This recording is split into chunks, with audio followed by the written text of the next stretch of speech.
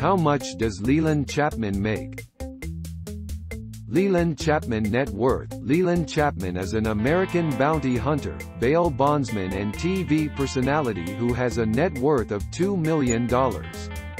Born in Groom, Texas, in 1976, Leland Chapman is the son of Duane Chapman, better known as Dog the Bounty Hunter, and his first wife.